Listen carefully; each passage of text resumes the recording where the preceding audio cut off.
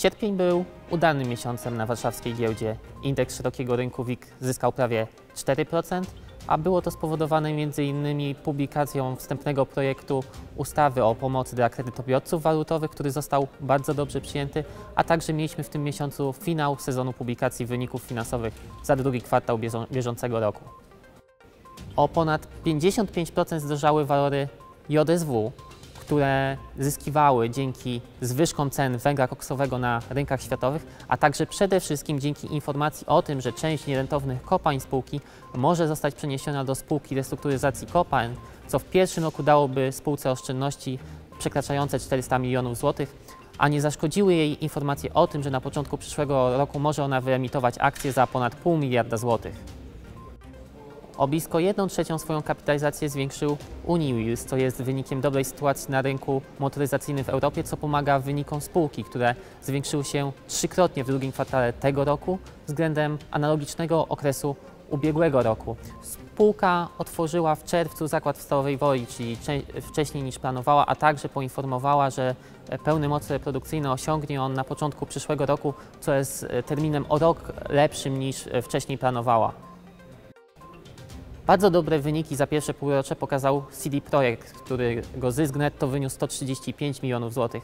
Ponadto spółka poinformowała, że wypuści na rynek w październiku Greg Wind w wersji beta zamkniętej, jednakże już od początku ma ona być monetyzowana, czyli ma przynosić zyski spółce. Natomiast wersja otwarta będzie wypuszczona na rynek po kilku miesiącach od wypuszczenia wersji beta zamkniętej. Blisko 1 czwartą swojej kapitalizacji straciły walory Signity. Było to spowodowane słabymi danymi finansowymi, które wyniosły minus 2 miliony na poziomie netto, a ponadto spółka nie zadowoliła inwestorów swoim backlogiem, który wyniósł poniżej 100 milionów złotych. Ponad 20% spadały akcje Integera w sierpniu. Było to spowodowane brakiem publikacji raportu finansowego za drugi kwartał. Ten raport zostanie opublikowany we wrześniu ze względu na na razie brak podjętych e, decyzji strategicznych odnośnie spółki, tego jak ma się ona rozwijać, czy wejdzie do spółki inwestor strategiczny, czy podpisane zostaną jakieś alianse strategiczne, a być może będzie działała ona na dotychczasowych warunkach. Niepewność, którą spółka wprowadziła w umysłach inwestorów spowodowała to, że sprzedawali oni spółkę bardzo chętnie w sierpniu. Zyski ABC Daty rozczarowały inwestorów, ponieważ były aż o 50% niższe od konsensusu rynkowego. Było to spowodowane niższą marżą na działalności podstawowej i stawia to pytania odnośnie przyszłych zysków spółki, ponieważ działalność konkurencyjna na tym rynku znacząco nasiliła się w ostatnim okresie i zyski w przyszłości mogą być niższe, przez co kapitalizacja spółki również jest niższa.